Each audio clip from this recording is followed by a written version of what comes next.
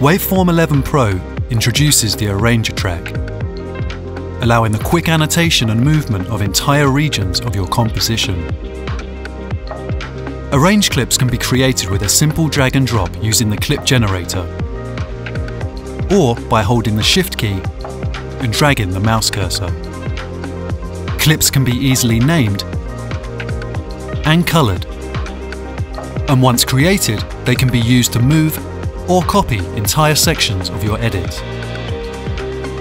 Dragging an arranger clip on top of another presents the option of either replacing or swapping the edit contents. By highlighting tracks, you can selectively include them in arrangement operations. Removing entire sections of an edit is also now available from a menu option. Arranging your musical ideas just became a lot easier.